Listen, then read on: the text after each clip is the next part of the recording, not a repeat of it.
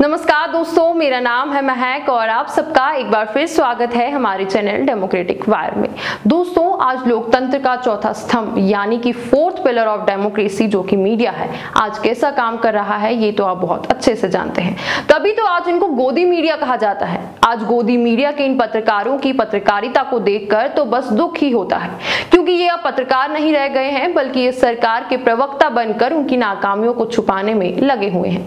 असल में पत्रकारिता होती क्या है, वो इन गोदी मीडिया के पत्रकारों को पता ही नहीं है। दोस्तों, अब आप सोच रहे होंगे कि हम ऐसा क्यों बोल रहे हैं? दरअसल बात यह है कि गोदी मीडिया के पत्रकार अंजना ओम कश्यप को बेस्ट एंकर का अवार्ड मिला। इसको लेकर अंजना ओम कश्यप ने एक ट्वीट भी किया। अपनी कुछ तस्वीरें शेयर कर अंजना ओम कश्यप ने लिखा है, सबका धन्यवाद। बेस्ट एंकर अवार्ड मिला और मेहनत करने की हिम्मत देता है। दोस्तों, देश के इतने बड़े चैनल की पत्रकार को बेस्ट एंकर का अवार्ड मिला है तो ज़ाहिर सी बात है, लोग इन्हें बधाई देंगे। इनकी तारीफ़ करेंगे।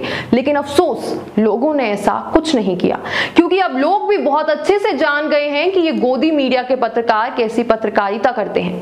देखिए दोस्तों कि कैसे ट्विटर पर लोग अंजना ओम कश्यप की ट्वीट पर कमेंट कर रहे हैं। एक ट्विटर यूज़र है राहुल मौर्य। इन्होंने लिखा है, एक ही समय में दो नौकरियाँ एंकरिंग और बीजेपी प्रवक्ता करने के लिए बधाई हो मैम आप इसके लायक हो। एक अन्य ट्विटर यूज़र है महमूद अली। इन्होंने लिखा है, गोदी मीडिया वाला अवार्ड मुबारक हो।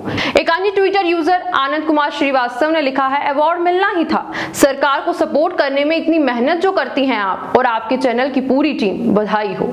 एक और ट्विटर यूज़र है पंकज शर्मा, इन्होंने लिखा है, बीजेपी समर्थक अवार्ड भी मिलना चाहिए आपको।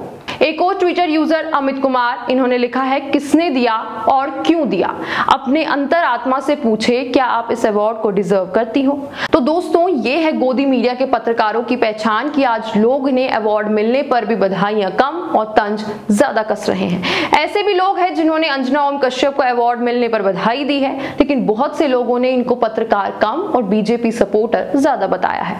क्योंकि अब देश का हर व्यक्ति ये जान गया है कि ये गोदी मीडिया के पत्रकार कैसी पत्रकारिता कर रहे हैं। चलिए दोस्तों, अभी के लिए इतना ही। अगली बार फिर करते हैं आपसे मुलाकात किसी दूसरी वीडियो के साथ। तब तक के लिए आप चैनल को सब्सक्राइब करके रख लीजिए।